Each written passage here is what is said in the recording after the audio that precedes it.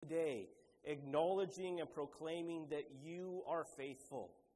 Uh, we at times are so unfaithful. And so, Father, we, we rest upon your faithfulness through the power and the sacrifice of Jesus Christ this morning. For it's in his name that we pray. Amen. Aaron. Before we begin singing this morning, I'd just like to read for you Psalm 100, a psalm of thanksgiving. Let the whole earth shout triumphantly to the Lord. Serve the Lord with gladness. Come before him with joyful songs. Acknowledge that the Lord is God. He made us, and we are his. His people, the sheep of his pasture. Enter his gates with thanksgiving and his courts with praise. Give thanks to him and bless his name, for the Lord is good, and his faithful love endures forever, his faithfulness through all generations. I'll invite you to stand with me. We're going to sing, I Sing the Mighty Power of God.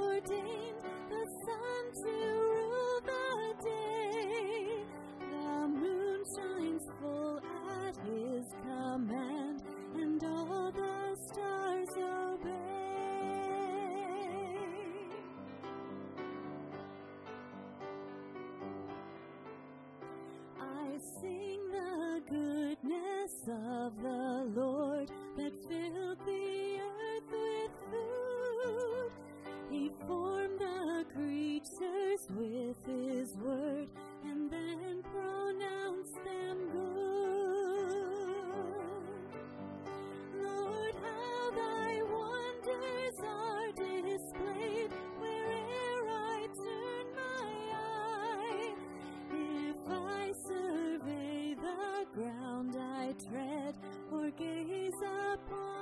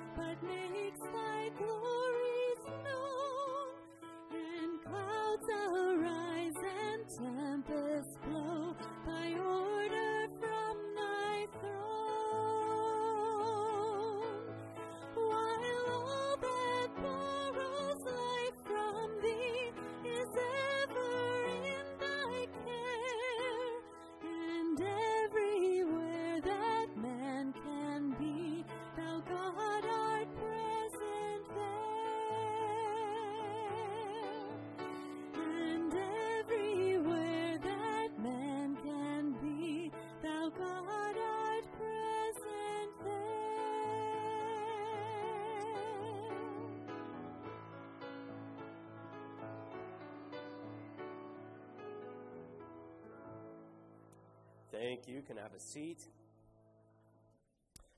So, as you came in the building this morning, if you're, you're, you're in person with us, did you vote? Because it sure looks like you have to when you come in the, come in the building. Well, have you probably guessed that our- our building is being used as a, a polling station uh, for the by election that's going on, and so that's why there's uh, all that stuff on the floor and uh, on the walls and that sort of thing. So, um, it's so great to uh, see you all, see most of you, anyways. And um, let's just run through some of our COVID pre- precautions as we uh, uh, continue to get used to the new normal. Uh, stay at home if you're feeling unwell. Um, we had somebody that was feeling unwell today, and so they stayed home. And so, good job. That's that's the way to do it.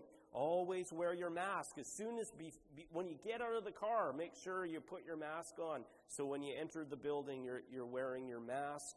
Um, we're going to physically distance, of course.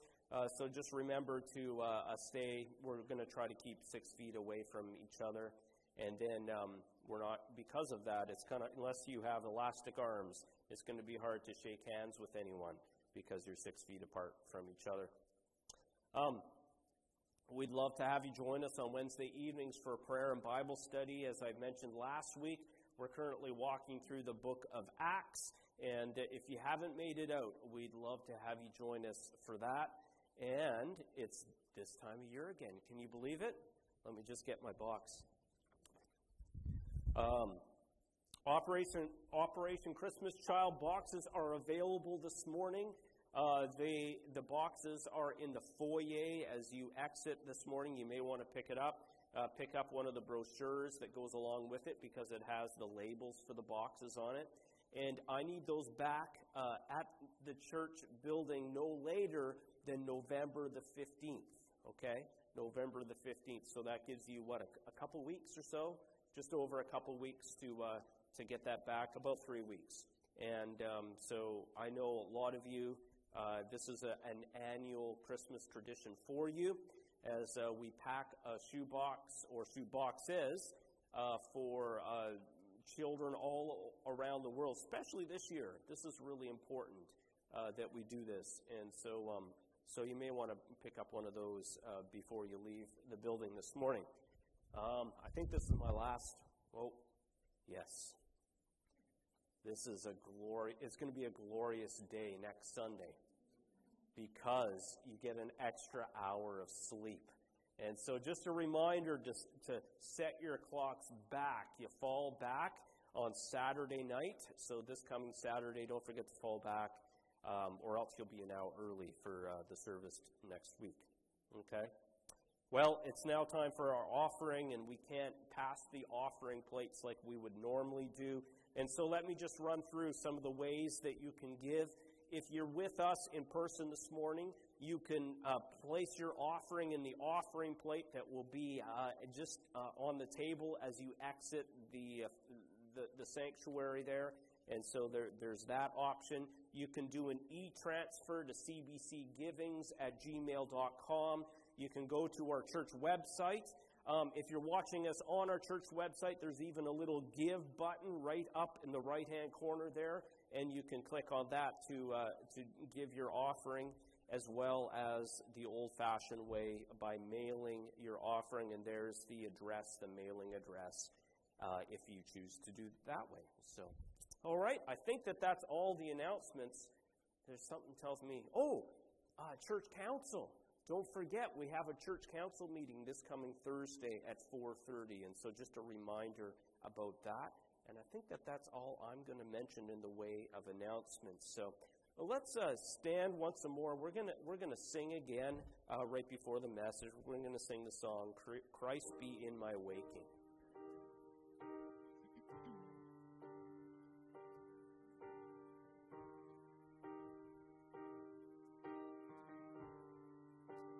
Christ be in my the sun is rising in my day of working with me every hour. Christ be in my resting as the day is ending, calming and refreshing, watching through the night.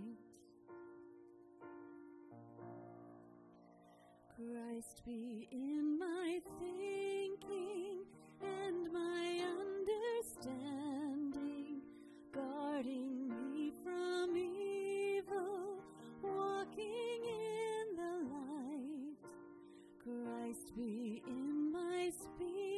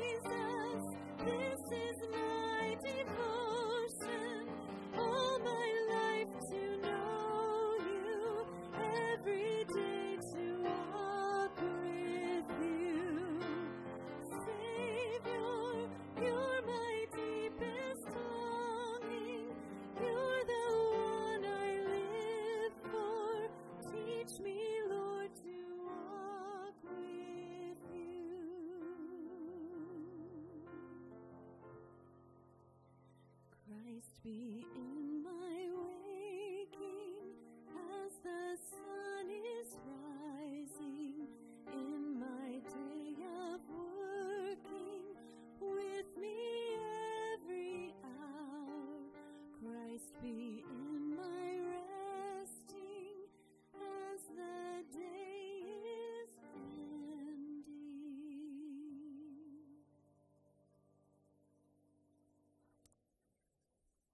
be seated. Well, good morning again.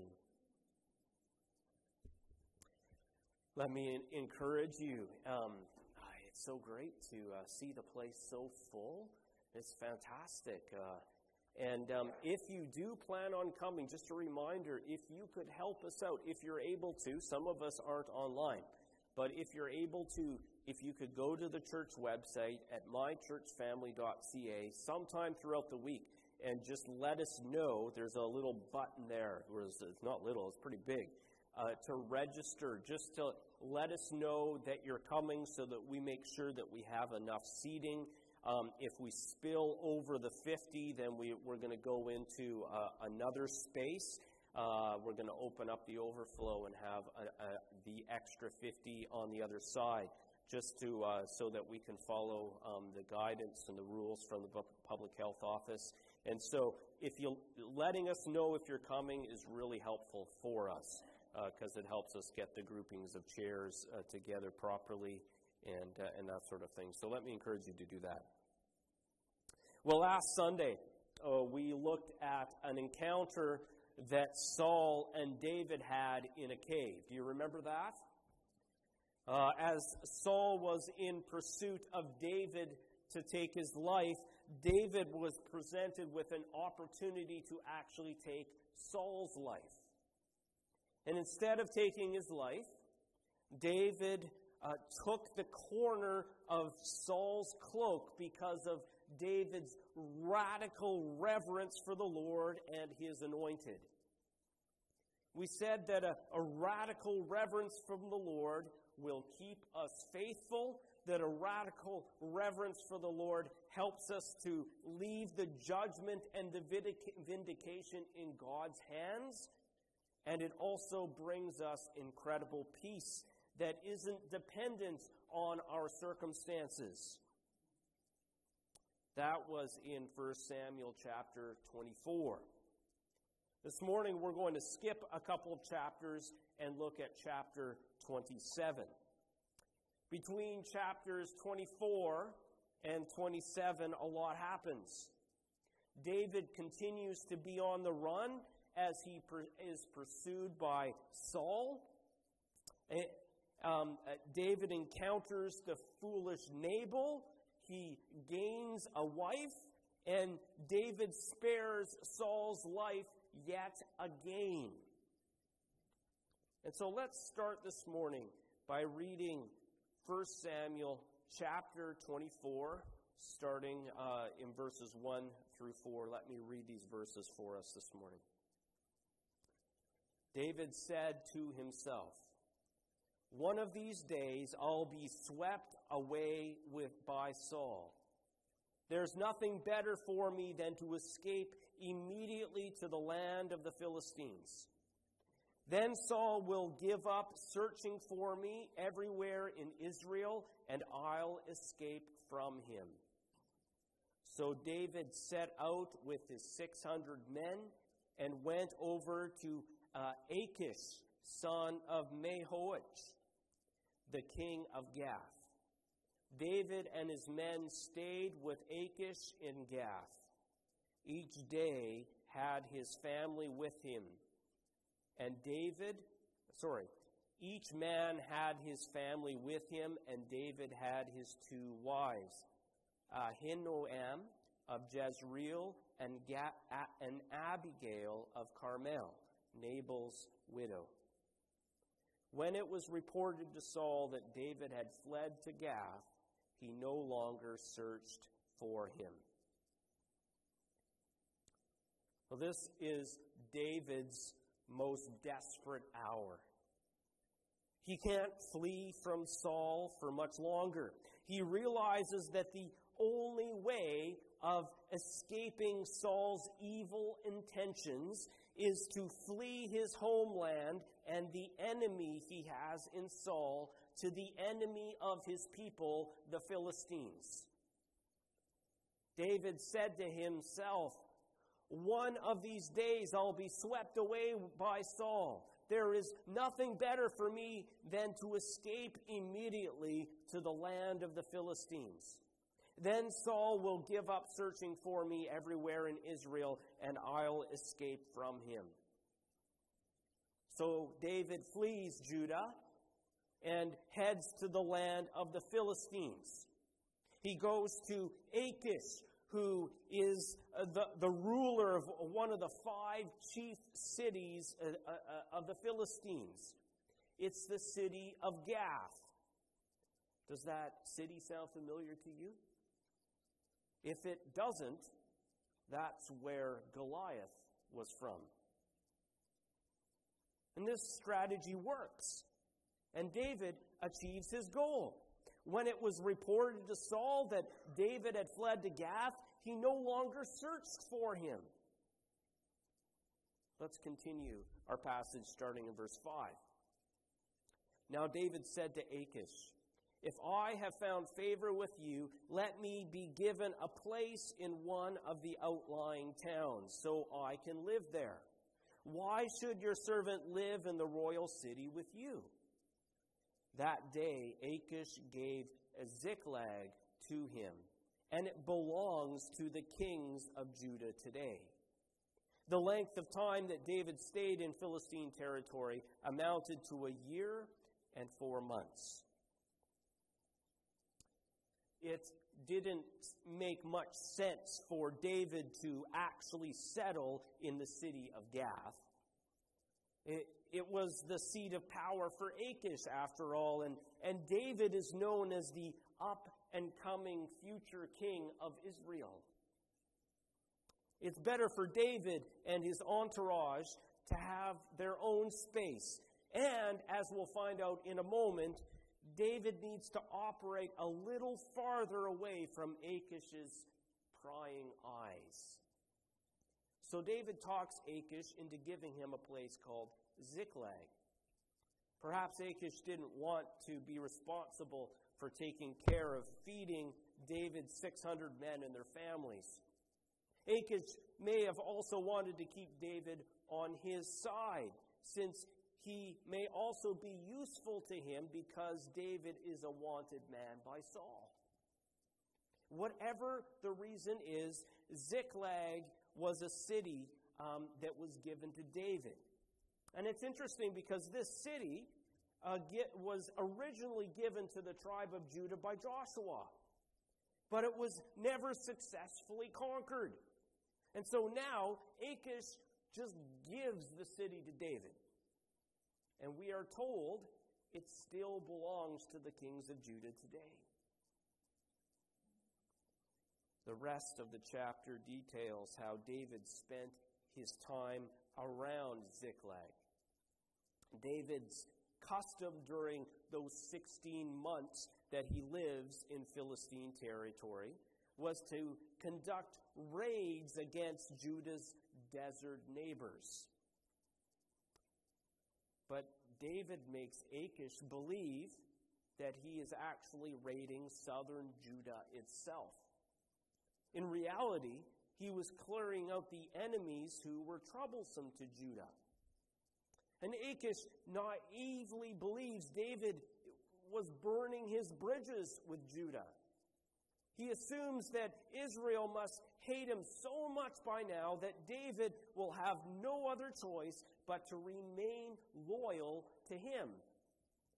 He's, so Achish trusted David, thinking, well, since he has made himself repulsive to his people Israel, he will be my servant forever. Achish is thinking this is a pretty good setup, this is a pretty good deal. But what David is doing here is artfully playing both sides. Achish is happy because he's deceived into thinking that David was taking care of Achish's enemies. What David was really doing was endearing himself to the citizens of Judah. And in a way that only the Lord can engineer, David has it both ways. The inhabitants of Judah and the Philistine king love him. But you know, there's one thing that amazes me about chapter 27 of 1 Samuel, and it's this God is not mentioned even once in the entire chapter. After 26 chapters of God being in the background, if not the foreground of the story, chapter 27, the absence of God speaks volumes. David is alone. He is with his family, along with 600 loyal sol- soldiers and their families who have moved together to enemy territory. The troops and families are all dependent on David here. But Samuel is dead. There is no prophet. And we are told of no dreams, no visions that the Lord speaks through. Now, David must figure out things by himself. And so I think it's appropriate that God is not mentioned as David negotiates his way through tricky circumstances without any obvious guidance from God. David must now act in faith. And I think that this describes how we are often forced to make important decisions, isn't it? Without the benefit of a specific word from God. You know, sometimes don't you think that life would be so much easier if when there was important decisions in your life that there was an audible voice from God? You know, uh, God, should I do this? Yes, no. You know, or maybe God's representative, wouldn't it be so much easier if God's representative would just tell us which way we should go, or at least maybe even an email describing what to do? There were instances in David's life where it had been like that, where he asked a question and he received a response. For example, four chapters earlier, when David wanted to know what to do, here's how it describes the process. So David inquired of the Lord, Should I launch an attack against these Philistines? The Lord answered David, Launch an attack against the Philistines and rescue Keilah. Wow. You're thinking, wow, if it was only that easy, right? Yeah, who should I marry? So and so. Should I take this job or that job? That job. Should I choose this course of treatment or that course of treatment? That course. But you know, it wasn't always that easy for David. And here's an example of one. David knew that he couldn't survive much longer as he was being hunted by Saul. So David had to act like we often have to do and figure it out as we go along. At the beginning of the chapter, David comes to the conclusion that the current situation cannot continue. And the best thing that he can do is flee from Judah altogether. David said to himself, One of these days I'll be swept away by Saul. There is nothing better for me than to escape immediately to the land of the Philistines. Using his best judgment, David settles on doing what he thinks is logical. I think there's a lesson in here for us. Sometimes the most godly thing we can do is to do what makes the most sense. Certainly, there's exceptions to this rule. In, in Scripture, God sometimes told people to do the exact opposite thing of what would make sense. You know, you think of, of Gideon paring down his, his army to 300 men. Or Joshua marching around uh, the city, the wall of Jericho, instead of attacking it. Or Joseph taking Mary as his wife. But in each of these cases, God was actively instructing the servants what to do, either through dreams or visions or angels or an audible voice. But as long as what seems logical doesn't go against the Word of God, normally, uh, what, um, what should make the most sense is the best direction we should take, isn't it? The Lord gives us minds to reason things out. He surrounds us with people that can speak truth into our lives. And most of all, if you're a follower of Jesus Christ, He's given you the Holy Spirit to gently guide and lead us along. And as we submit to Him, He shows us which open doors to walk through.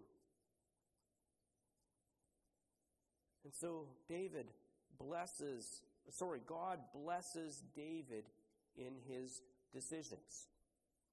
And you know what? His plans work. When it was reported to Saul that David had fled to Gath, he no longer searched for him. David decides to approach Achish about occupying, occupying Ziklag. He uses logic He uses diplomacy to persuade his host that he should be allowed to move to the country and, and live in another city. And again, David's plans work. That day, Achish gave Ziklag to him, and it still belongs to the kings of Judah today. The city that should have been possessed uh, uh, uh of uh, a possession of Israel from the very beginning now goes into David's hands and eventually becomes a royal city of Judah. Once again, God honors David's decisions. In the latter half of the chapter, even though David isn't welcomed among the people he is to be king over, David blesses them by getting rid of the ones who were oppressing them and sharing the spoils with them. David is doing what seems logical, walking through the doors open to him, and God honors what he does. You know, there are many other examples of Old Testament characters who make decisions and take actions on their own, but who trust God through, all, through it all to guide their steps. You know, Joseph is a prime example of this. In fact, rarely do the saints of the Old Testament have God actively directing their actions, though they believe that God is always involved in them. All of this should challenge us to submit our entire decision making process to God and trust Him to sharpen our God given reason and logic and guide us in the important decisions in life. You know, this past week, I read a quote that kind of struck me. It, it, this is what it said God writes straight in crooked lines. God writes straight in crooked lines. Now, I'm not sure if I completely understand that phrase, but I think it's a good way to describe how the Lord has worked in my own life. Normally, we only see the specific ways in which God has led us when we look behind us when we look behind and back through the years. Only then can we trace God's guidance, and it is often through very crooked lines. What I mean by crooked lines is unexpected or even unwanted events.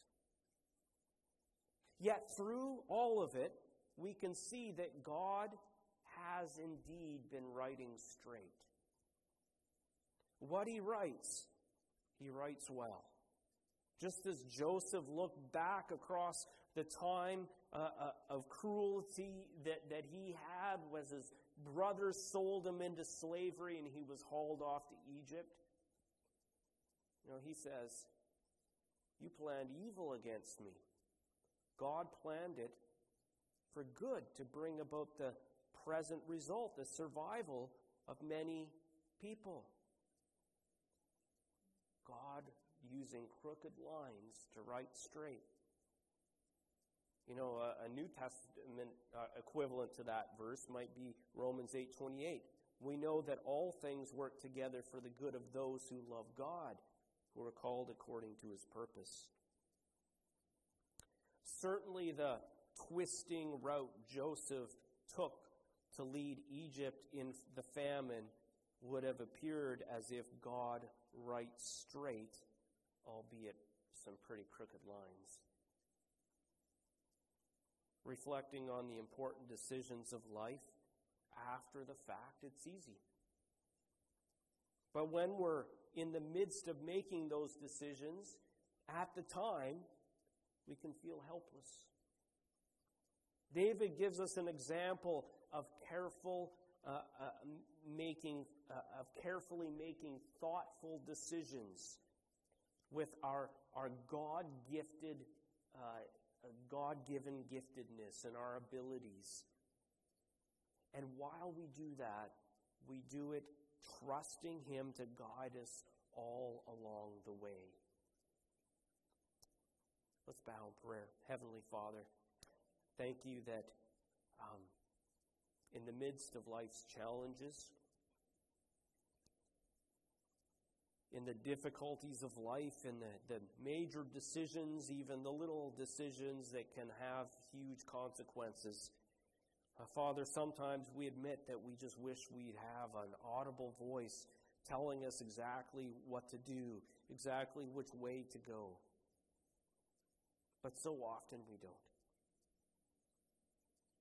But Father, I thank you that you use those situations to increase our faith as we look behind us and see how faithful you have been. Uh, Father, it increases our faith to be faithful in the present and the future. Father, I pray that if there is anyone here this morning, if there is anyone who, are, who is watching that is, is facing a, a significant decision in their life, Father, that um, you would impress upon them um, that, that, that you have given them, through the power of your Holy Spirit, uh, a, a direction and a way. And that as they walk in obedience with you, that you bless. Father, we thank you that you can take even our mistakes and turn them into blessings because that's the kind of God you are. And so, Father, we desire to offer ourselves to you. Would you take us? Would you use us to further your kingdom and your glory here on earth? Father, we pray this in Jesus' precious name. Amen. Let's stand and sing our final song by faith.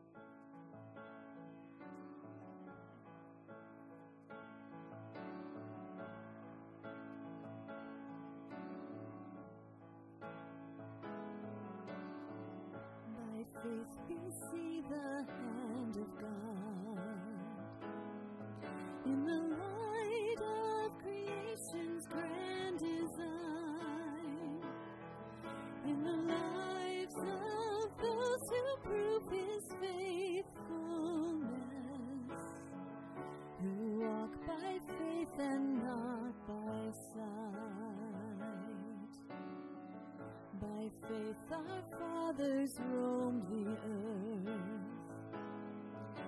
the power of his promise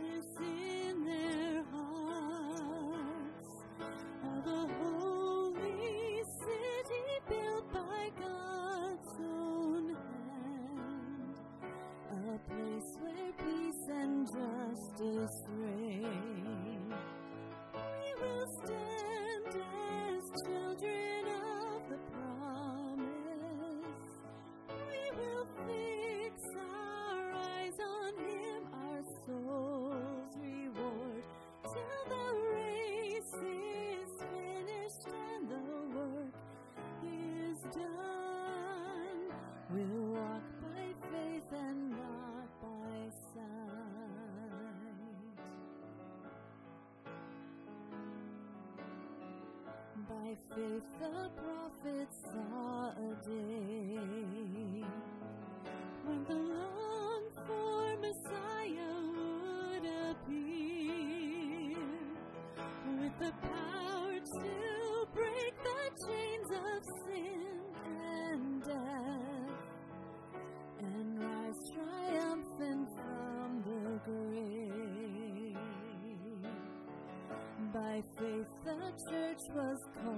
called to go. In the power of His Spirit to the lost, to deliver